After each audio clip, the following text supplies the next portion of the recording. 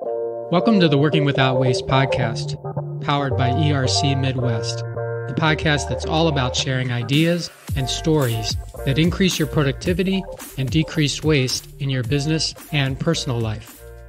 I'm your host, Mike Malatesta, one of the leaders here at ERC Midwest. And today's guest is Ana Kraft. Ana, welcome to the show. Thank you so much for having me, Mike. Yeah, well, it's it's our pleasure, and and and um, you guys are in for a treat today because Ana's the founder and CEO of Xena Workwear, uh, the maker of stylish, comfortable, and responsibly made safety footwear for women. So, like a lot of what I like about her story, like a lot of entrepreneurs, Ana started her company because she was frustrated. And she wanted something that she couldn't get, she couldn't find something she needed but couldn't find. And she decided to take that problem into her own hands and solve the problem for herself and for women, I guess, all over the world who are facing a very similar problem. So, with that, um, Ana, tell us about how you came up with the idea for your company and how you got it started. Yeah, um, I um, I usually say I never planned to go into footwear manufacturing. I have a degree in international project engineering from Germany and always worked in the manufacturing space. And uh, while I loved my work in the manufacturing industry, I was so incredibly frustrated by the safety shoe options. I always felt like a clown wearing my uh, my clunky boots that were designed for men. I had multiple pairs that I really hated to wear and that did not help me to feel confident. And um, the, the biggest challenge was when I had to transition between the office setting and the shop floor. I was running multi-million dollar projects and had to dress professionally in the meeting room. And then as soon as we would wrap up the meeting, we all would go out on the shop floor and I was the only one who had to run back to my desk and grab my clunky boots. So uh-huh. after after years of frustration, I decided to do something about it and created um, created a safety shoe that professional women would love to wear. So yeah, it basically started out of my own frustration working in the space. And so like a lot of frustrations, we tend to put up with them for a long time, you know, because the pain is probably less to put up with the frustration than than the effort that's put into getting over it. And evidently at least in your case, it got to a point where um, that was no longer the case. What what happened, or when you know what was the trigger for you to say enough's enough? Um, let's see. I was I was doing a lot of research. Um, so I was complaining about this problem for many years, and then the, it came to a point where m- multiple things um, started to get together. One thing was I I was tired of the clunky safety shoes. Another point was that I um, I just finished one of my biggest projects at the company, which was incredibly exciting. We had a successful uh, product uh, project end, and then my work started to get a little bit boring. I was still get got paid for not having a lot to do, and I hated to sit at my desk and feeling like I'm not doing anything exciting. I'm not contributing to to society or my company or anyone. I I hated the feeling of being useless and I thought I could be doing so much so many things in my life and started to explore the idea of starting my own business.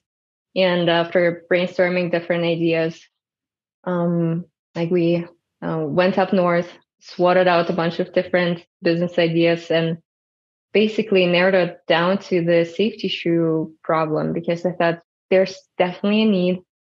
My friends and I have been uh, complaining about this for many years, and uh, now it's like it can be rocket science. I, I have an engineering degree. I may not know everything, but I can find the right people who can help me make this happen. Okay. And and how did you get started? Like what was the first take us through the steps because I'm really interested in how I'm always interested in how someone sees a problem and and wants to fix it or make it better but doesn't know exactly how to go to connect all the dots in order to make that that happen yeah the the first step was to learn everything possible about the American safety standards. So I did not.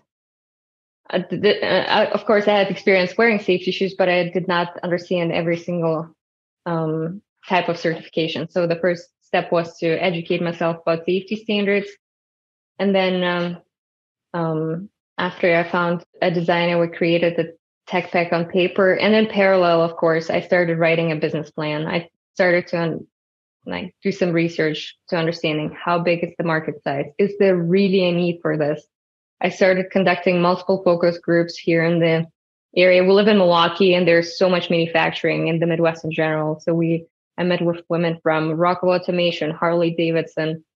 Um, there's so many different manufacturing companies here. So started gathering information about what, what do they need? What specifications their companies have and uh, sorry for the sorry for the background noise. That's fine. You're good. I don't hear anything. Okay, good. Um, yeah, and that helped us to create the design that we then took to the manufacturer and started working with them on creating multiple prototypes and I, I'm I don't know if it's the German part of me, but I'm I'm a perfectionist. So it took us five or six rounds of prototypes to finally get to the design that I felt comfortable with, that I really liked, and we send it in for ASTM testing, which needs to happen the, at an independent lab in the United States. And in May of 2019, we launched officially launched Xena Workwear. And when you first, um, well, first of all, the women that you that you went and interviewed sort of your focus groups and you know sort of proof of concept like is this something that's really needed was there anyone who said ah oh, you know pretty happy with what's out there what i can get at footlocker or wherever or was it sort of universal? Everyone's like oh my gosh please solve this problem for me. I would say 95% of women said i hate my boots. And so that okay women are hate their boots right now. Like there's such a big chance like there's so much potential for improvement. Like having uh, and by now having a boot that women love to wear safety shoe that women love to wear not only to work but also wear them in their free time like even going to a happy hour or a dinner with clients uh, this is so impressive so the majority of women said yes please i've been looking for a nicer safety shoe for years more comfortable and nicer yeah, so something whole, that they something that they don't have to put on and take off. They can just put them on and wear them. Yeah, and, yeah, exactly. The design is one aspect of it, and the comfort and safety is the other. Um, so many companies apply the shrink it and pink it concept, where they take a men's boot, make it smaller, and make it pink. But uh, men's and women's feet are so different. Um, like it's I was always tripping over my boots because they were clearly not designed for a woman's foot. And uh, I sometimes it's even a safety hazard if you don't have properly fitting PPE. If your safety vest is too loose, you can get um, get stuck in in machinery, or if your shoes don't fit properly, uh, can sometimes even be a safety hazard. I like that shrink it and pink it. I, that's that's funny. Um, that's definitely a guy's mentality right there. yeah, right. and, and a pink boot did not help me feel confident in a room full of seasoned engineers who um like who, who I collaborated with on highly critical projects. So what you wear definitely has an impact on your confidence and how you enjoy work. And I just wanted to remove this unnecessary barrier for women. It's already difficult enough to fit into some male centric industries and having PPE that does not just distract you all the time is just an unnecessary problem. Right. So um let's explore that a little bit if you don't mind the confidence thing. So you what is what is it about in your mind what is it about having you know sort of the right shoe or the right whatever ppe it is and and and that sort of adding to or complementing your your confidence mm-hmm. yeah um so we all know that um, people people make a judgment within the first couple seconds of them seeing you. Like when when you walk into a room, Um, and being looking professional is incredibly important. And what is even more important is not to look professional, but to feel feel confident. Like when you wear the clothes that you feel comfortable and confident in, you will express that confidence to others through your mm. communication, through mm. your posture. Um, so, and it starts with safety shoes. Uh, with I would say for women, it might be a weird topic, but it starts with boots. If you have to wear hiking boots, you will look ridiculous wearing a nice blouse. So you're almost forced to dress down and wear a hiking jacket, like a nice comfortable hiking jacket with your tennis shoes or your hiking boots. But when you walk into a room and everyone else, like most men wear their nice button down shirts and you're the only one who looks out of place, it's not, uh, does not make you feel, feel good overall. Right. So that's the whole concept of as soon as you can like the boots you you wear it opens up so many possibilities of um, wearing other clothing and helping you to feel more confident and actually feeling your, like yourself like when we can be our authentic selves we are most successful in the workplace right. instead of dressing um dressing like uh, your dad so many women bring up that example like I finally don't have to, to look like I'm wearing my dad's clothes to work.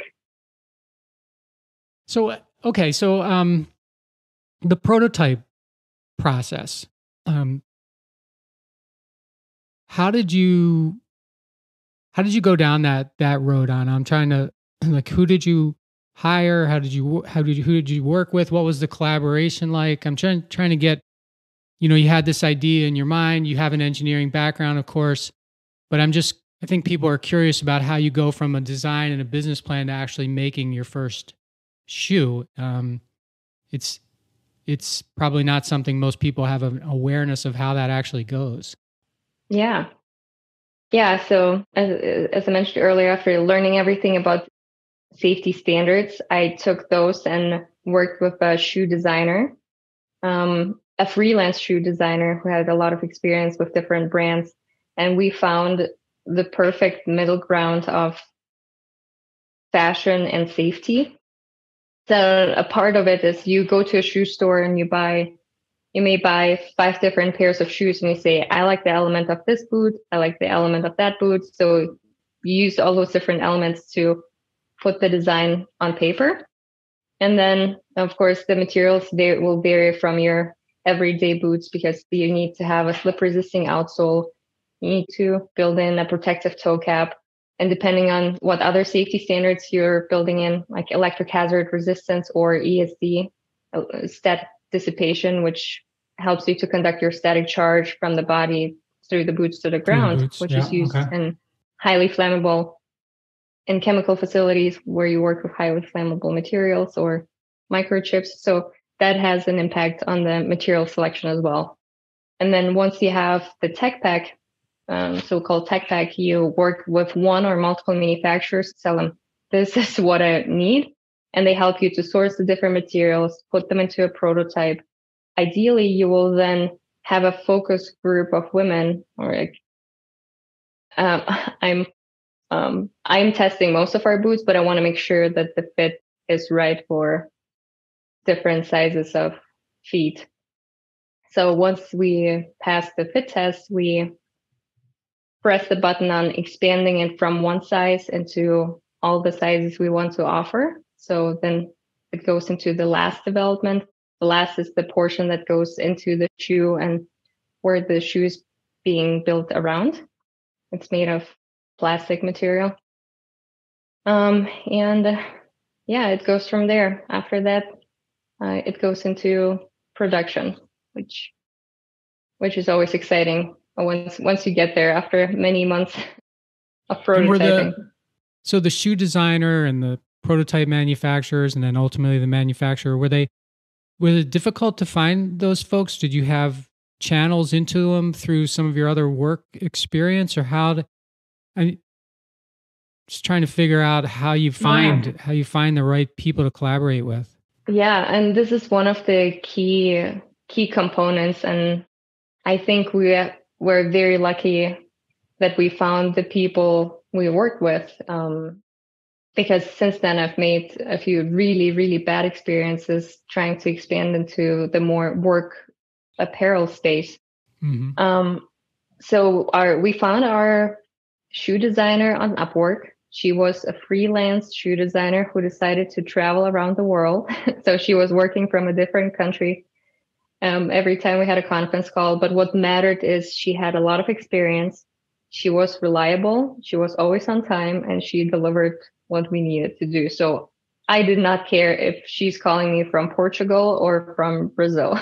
yeah, sure. Yeah. And then the way we found our manufacturer was we went to um, to Mexico and they had a shoe there and like we talked Spanish was amazing until I went to Mexico and tried to talk to footwear manufacturers who use very specific language and very specific terminology. So at that fair we we met uh, three to four different manufacturers, um, set up meetings with them, pitched our idea. And I was surprised that all four really wanted to work with us. And uh, we selected one that we felt was the best fit. Okay. And was, um, let's talk about the shoes. So you have um, different, what have you got? The, the Nova, the Omega, and the Gravity. I don't know if those are the only three brands that you have, or maybe they're not brands. I'm not sure, but models. yeah. Yeah. Talk talk to t- tell me about the the actual shoes and their cool names and what they what what the inspiration or the feeling is around them. Yeah, for sure. And I have some some in the back. I will show you our latest limited release. So um, we launched with the Gravity um, in in a classic black and cognac brown. This is a limited release that we just announced and has been developed based on our customer requests. So the this is a perfect walkthrough boot. So this is meant for someone who spends most of their time in an office in meetings and then once in a while has to walk through the shop floor to either get to different conference room, talk to the team of operators, do quality control. So it features a steel toe cap, a slip resisting rubber outsole, and a heel that is based on Canadian standards. The US does not have standards for heel height yet, but we're we're working on it.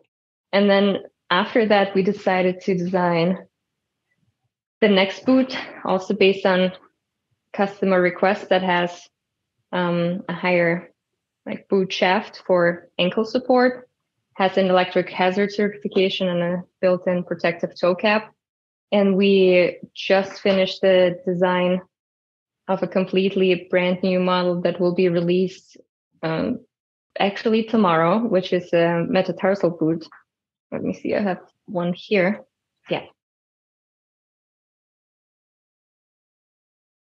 There it is. So this boot, this was one of the most challenging projects that we had so far. So it does not only have a protective steel toe cap, but also um, a met guard that All protects the, the metatarsal yeah. bones. And it's internal. It's made from an open cell foam material that is flexible during rest and hardens during impact, protect, creating a protective shield. So this boot has been requested by women who work in heavy industries um, like John Deere, Caterpillar, who work in in weld shops with heavy right heavy equipment. Yeah, I'm thinking steel mills and yeah, exactly. Yeah, right. So, by the way, um, you can't. You have to watch the Zoom or the uh, the YouTube video for to see what she's showing you. But these shoes are, they look like shoes you'd wear to a club. I mean, that's. I don't know if I'm dating myself by saying that, but that's what they look like to me. They look like something you'd wear out. Like they're very, yeah, yeah they're they're super pretty. They're very, very Thank nice. You.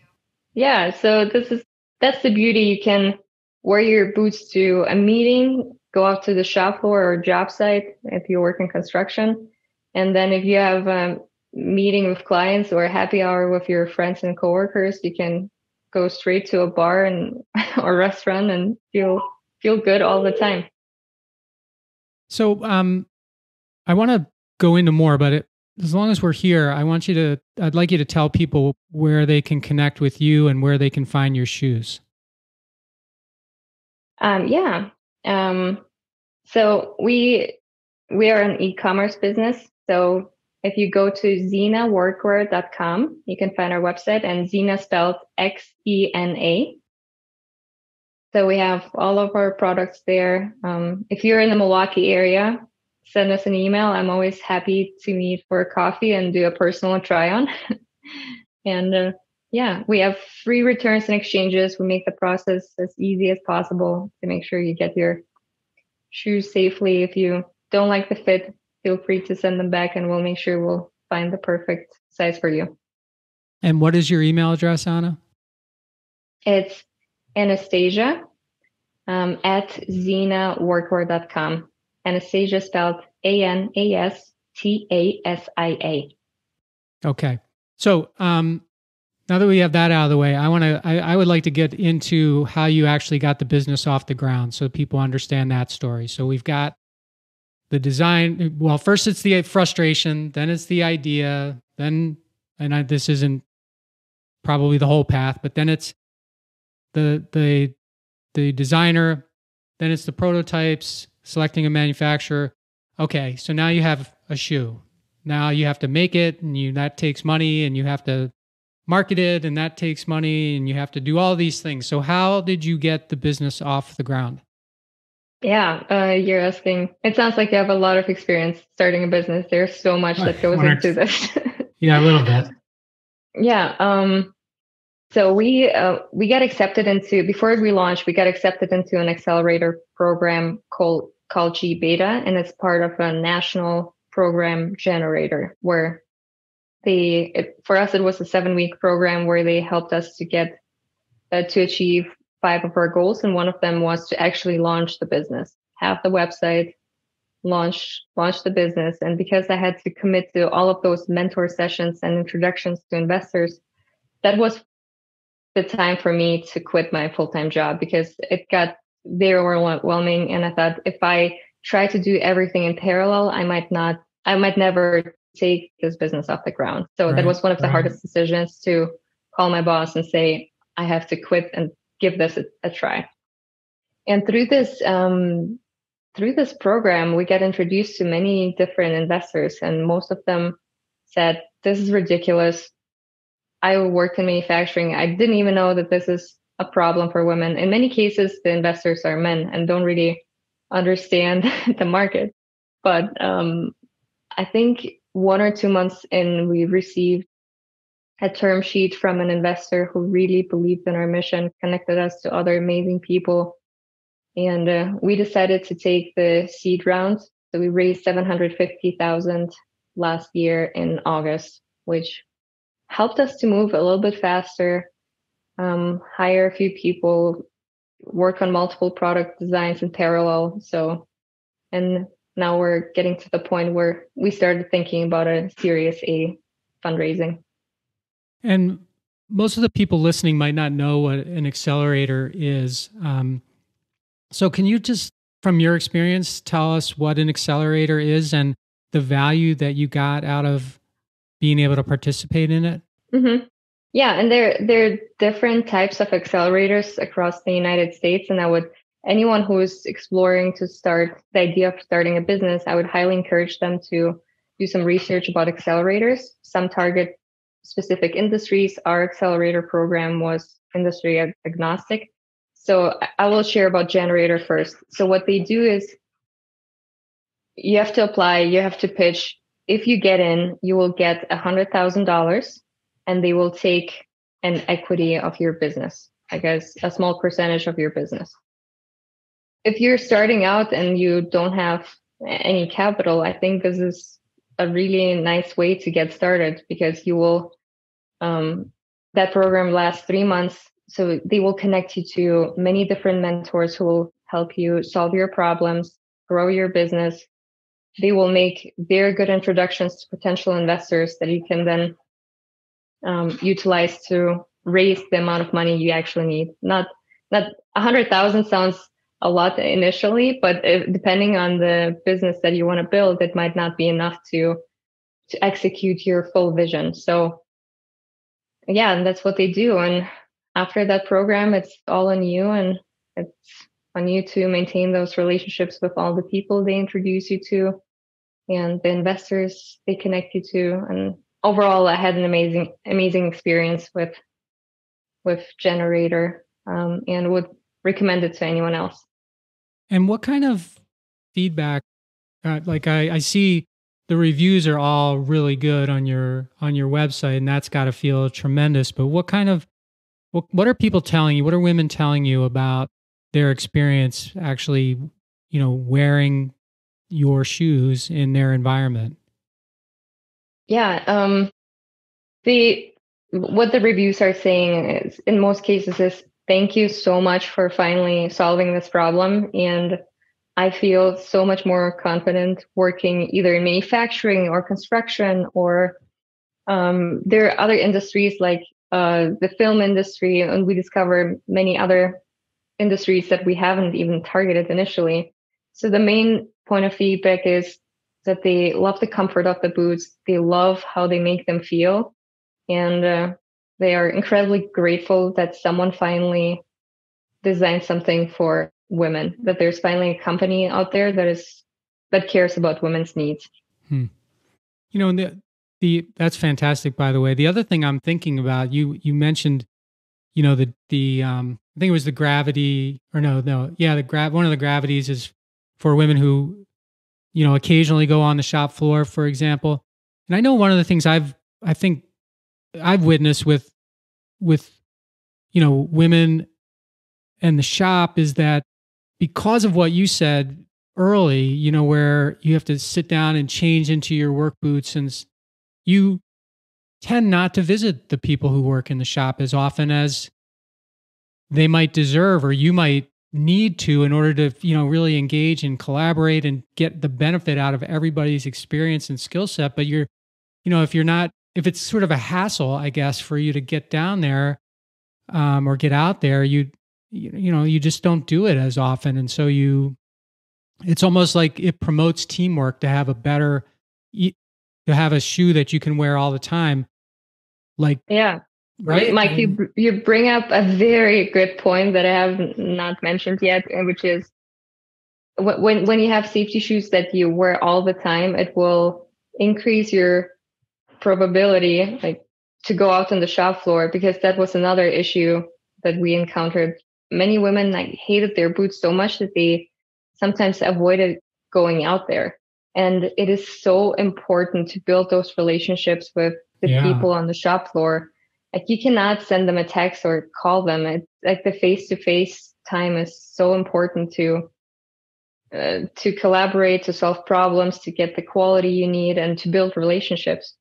So having being being present on the shop floors uh, or construction site is crucial. And if you have PPE that you like to wear, you will most more likely go out there. And and another aspect is cutting corners. Like sometimes uh, people say, ah, I'll go out on the shop floor for just just two minutes. I will not change my shoes, right. which is a problem. It's a it's a risk, um, and by providing PPE, people want, and it's not only shoes but other gear as well. If they like the way it feels and fits, they will more likely wear it and cut less corners. Well, I love what you're doing, Ana. Thank you so much for being on on the show today. Um, I do encourage everyone to look at her website, Xena Workwear, X E N A workwear.com. Um, reach out to um, Anastasia or Ana uh, on LinkedIn as well as she gave you her her uh, email address earlier. Um, you should, you know, if women listening, you really need to look at this, and men listening, you really need to look at this, what she's doing, and uh, and not just help her and her company, but help your teammates and people you know by introducing them to this possibility that they're probably not aware of right now. So fantastic work, Ana. Way to, way to go. Congratulations. Thank you so much, Mike. It was such a pleasure to be on your podcast. Uh, thank you for uh, spreading the word about Xena, and I look forward to stay in touch. Sounds good. My pleasure. Awesome. Thank you so much. Have a good day.